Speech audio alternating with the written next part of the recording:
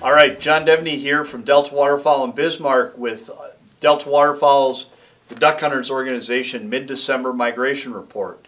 Last time I was with you all at the end of November, I was standing in a snowstorm talking about the prospects that the snow and the cold weather was going to have to send ducks all down the four flyways. That's been borne out. We've been had reports from all across the country of hunting going from really pretty poor to really pretty fantastic duck hunting all over the place. So what we're going to do here in the next little bit is just go through a flyway by flyway report from our staff and others in the field to give you a sense of what's happening as we head into the what seems to be the peak of the duck season and heading into the holidays. This week we're going to start to see some of the coldest temps all across the country, especially in areas that are really important for feeding the Atlantic flyway. There's going to be cold, really cold temperatures and snow in the east, which is really going to spur the migration even more. But even the storm that we had here a couple weeks ago has sent birds spilling down the Atlantic flyway.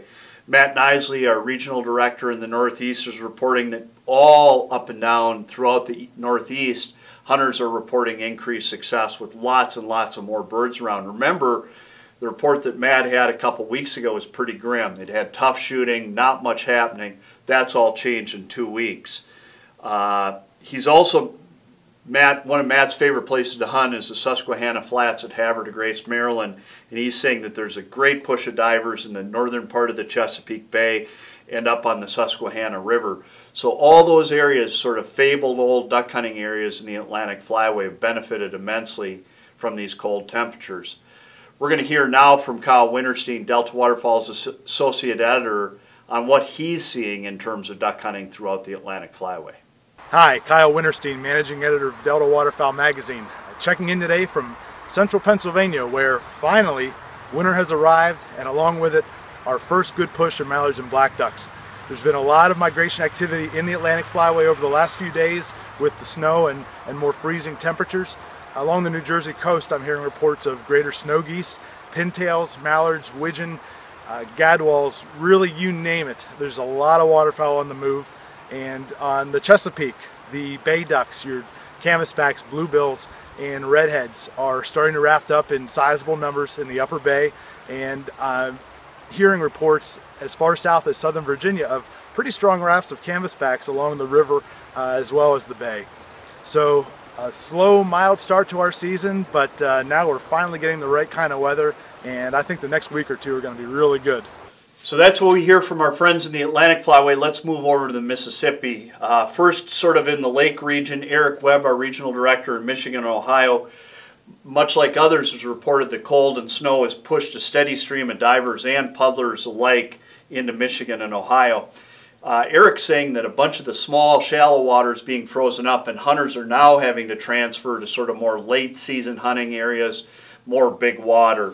Uh, Nick Hampton, a regional director of ours in Iowa, in Nebraska, is saying uh, some of the guys in northern Iowa are starting to worry that they're going to be out of birds. The cold temps, the freezing has got birds moving, but he's thinking the hunting is going to be really good along the Mississippi River, uh, southern Iowa, and even into Nebraska. Moving a little further down into Arkansas, Ty Jean reported uh, Arkansas's second split just came in last Thursday.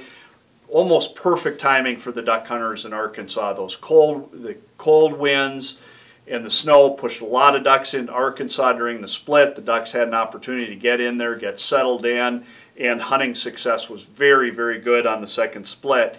Not only were there a lot of ducks around, it had some significant rains in Arkansas, flooded up some of those uh, rivers, sloughs, in managed hunting areas provide a lot more hunting opportunity.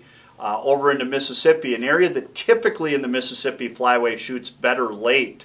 Um, we've had some good reports there in the last week that duck hunting has picked up with some heavy straps of greenhead. So lots of good positive news coming out of the Mississippi flyway. We're going to go down to Garrett in Missouri to give you guys an on-the-ground look at what's happening down there as well. Hey guys, Garrett Trenham here, Regional Director Missouri and Kansas with a migration update from Central Missouri. That cold front we got last week really gave us some good weather to move birds around and boosted hunter success.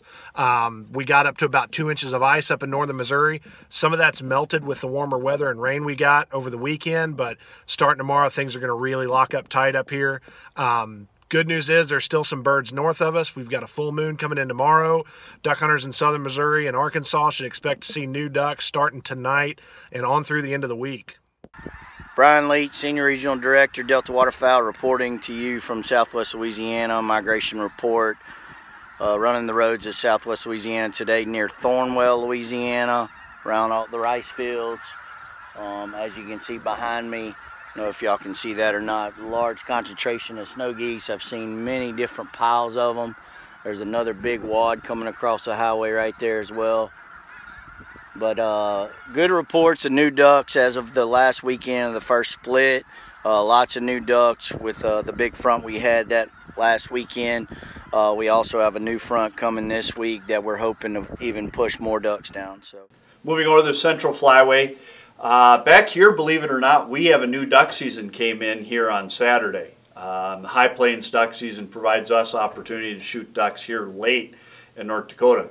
Problem is, there are no ducks. Um, the incredible snow and cold has moved our ducks south, probably now residing in place like Nebraska, a place where the hunting has really picked up the last couple weeks. We've heard great reports on some of the reservoirs in Nebraska, great reports on some of the areas of the Platte River where shootings really picked up, which we'd expect with the cold and snow.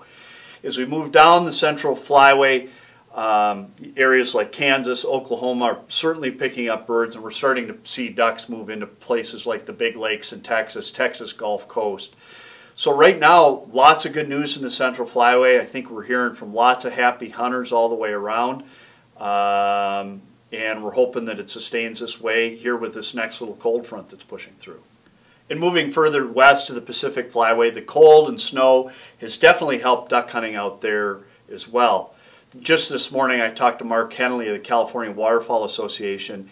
He said that just this past weekend, big numbers of ducks showed up, favorable weather conditions, and the shooting was very, very, very good on some of those Sacramento Valley refuges. So we're starting to see it there. We've heard good things about the Suisun Marsh. So it definitely seems like now, after a big lull in the California season, that the shooting is, is increased very significantly and guys are starting to have hang some big straps. We're going to go up now to Washington and get a report from up there to see what's happening on the ground a little further north in the Pacific Flyway. Hey guys, my name is Desmond Weaver, chairman of the Delta Waterfowl Puget Sound chapter here in Washington State. I'm sure many of you have noticed that we have been having a very unusual migration this year. Above normal temperatures in the early season has kept a lot of birds up north.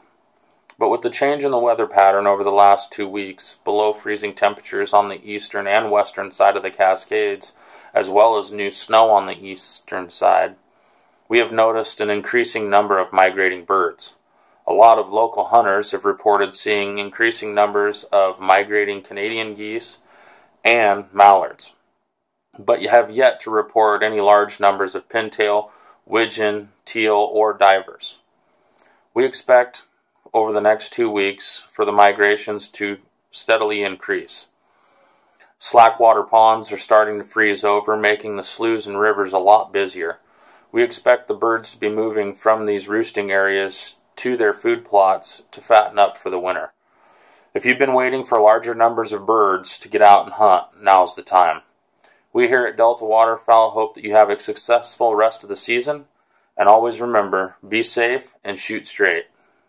So that's what we know for now for mid-December. Things are definitely looking uh, looking pretty good here going into the holidays. We know that you, many of you, are going to enjoy being in the duck blind with friends and family over over Christmas and the New Year's. We all want to wish you a very Merry Christmas and a Happy New Year. We'll be getting back to you with another migration report after the first of the year.